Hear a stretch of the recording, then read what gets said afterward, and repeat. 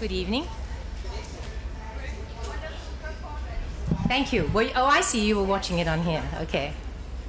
What can I do for you all? Who?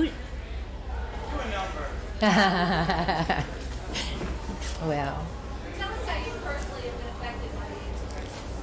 Well, I don't think there's anybody that hasn't been, that doesn't know somebody that's been personally affected by the AIDS crisis. So um, I have lots of friends and friends of friends, and uh, friends of my daughters, things like that.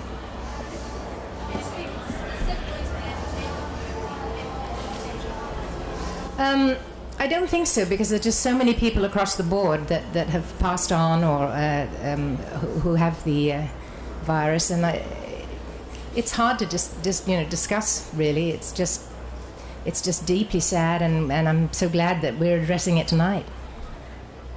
Since you and Ann-Margret did your uh, meeting, how do you think the climate has changed as far as the attitude in Hollywood toward uh, AIDS issues? Well, I hope that that helped a little tiny bit, but um, it seems to me that it, that it has changed, and I, I think for the better. What do you think? Well, I did story with you the Advocate. Yes, yeah. I, I thought I recognized your face.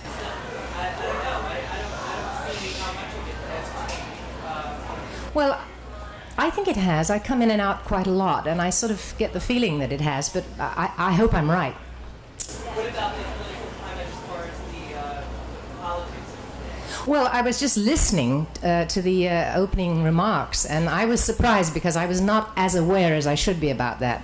And I had no idea that there was this beginning of a, of a, of a turn, and I, I, that's deeply sad. And obviously, everybody should do everything they can to, to change that. Okay, one more question. Miss Andrews. Yeah. Hi, John Sheehan. You've done so many films through the years, or uh, of late, I should say, Victor Victoria and others with the great Blake Edwards and others that are very gender bending and, you know, kind of work along the roles of maybe enlightening people about sexual tastes and, and styles and such. Do you feel like the message of AIDS overall has finally made the impact across the country that it's not a gay disease? Oh, I think so. Yeah.